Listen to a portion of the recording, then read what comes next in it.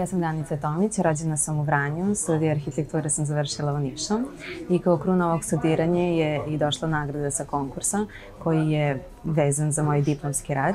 Osvojila sam prvu, prvu nagradu i presrećna sam zbog toga. Što se samo konkursa tiče, po naziv je Future House, Modular House, sedište je u Americi, konkurs je internacionalnog tipa, bio je otvoren i za studente i za svršene arhitekte, dizajnere, sama tema konkursa je zapravo bila ono što sam uveliko razrađivala u trenutku kada sam konkurs videla. Tako da sam se zbog toga odlučila da učestvujem. I ono što je zanimljivo je da je to zapravo moj uh, prvi samostalni konkurs. Arhitektura me nekako slučajno prati od malih nogu. To je neki nenamerni uticaj okoline, jer imamo dosta arhitekata u porodici.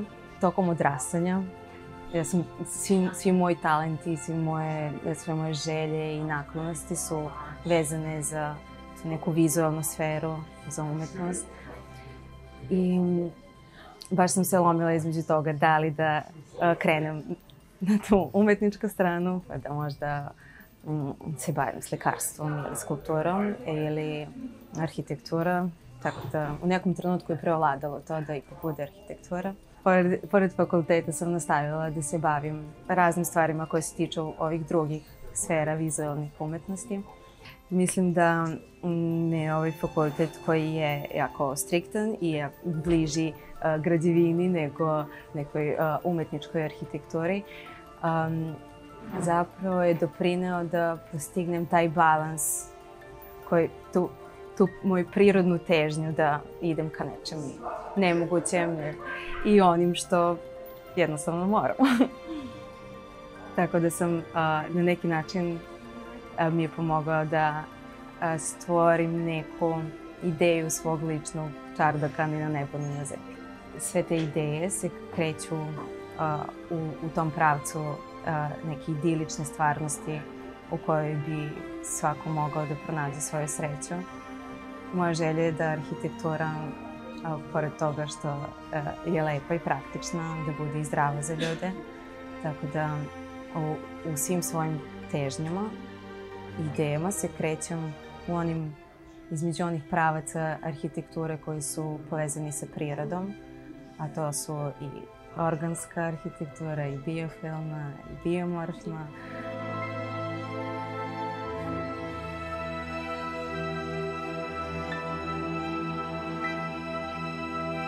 Arhitektura je samo još jedan od medijuma izražavanja i u filozofskom smislu je jako sličan uh, i ostalim granama umetnosti.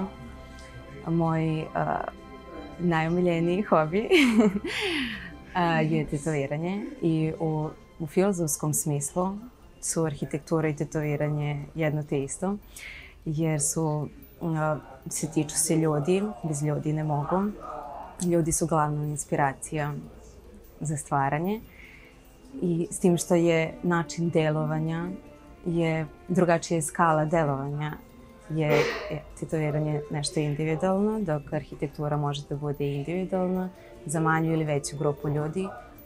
A takođe mislim da a, arhitektura kako zavisi od ljudi, na isti način može i da utiče na ljude, to jest na društvo i na zajednicu. I sve ovo što govorim je, se zapravo sadrži i u tom konkursnom radu. Kao inspiracija, inspiracija je višeslojno, ali je a, samo moj način razmišljanja i življenja je zapravo u, u biti te kreacije. A što se tiče konkretne inspiracije, jednom sam uh, pročitala Le Corbusijerovu izjavu uh, o tome kako je uh, počinjen zločin nad arhitekturom, kada je arhitektura prepuštena industriji i kada su arhitekte, naklonivši se uh, buržujima, počeli da stvaraju arhitekturu koja kao da deluje protiv ljudi.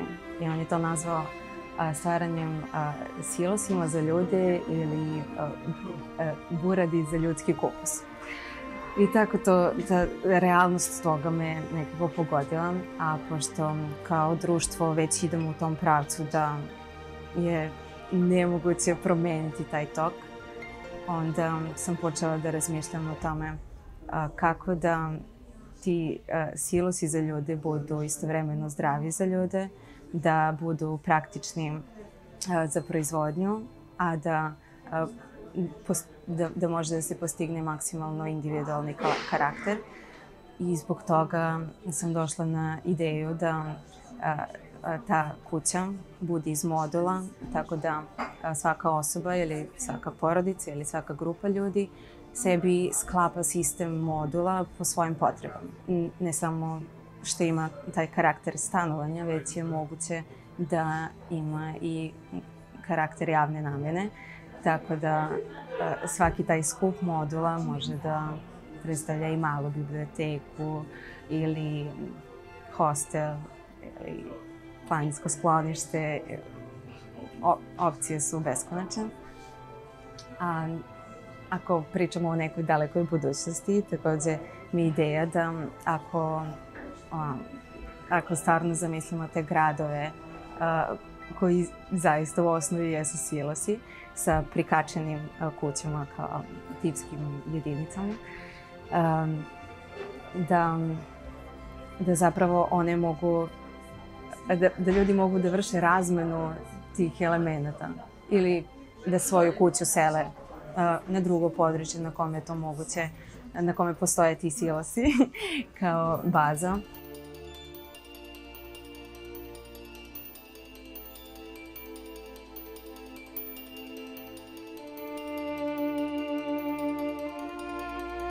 Druga stvar a, to što u vreme kad sam smišljala to, a, sva predavanja su bila gotova, nisam imala obaveze na fakultetu i odlučila sam da neko vreme živim na Vlasinskom jezeru.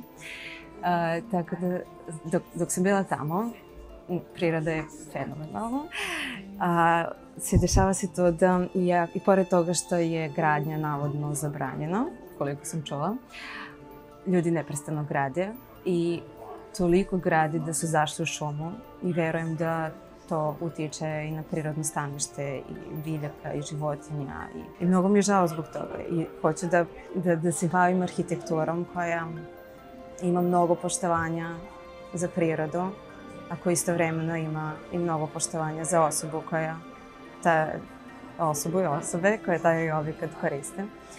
I upravo zbog toga sam došla na ideju da a, taj objekat, podignem sa zemlje, jer mislim da zemlju treba da čuvamo kao dragocenost i da možda te, da se možda okrenemo obliku stanovanja uh, koji koristi prostore koji su nepristupačni za drugačije korištenje, a da oni prostori koji su pristupačni, da, da, da oni imaju drugačiju namenu i da jednostavno žive u miru i u skladu sa prirodom pored mnogih problema koji e, su poslužili kao inspiracije, to su i nove mogućnosti.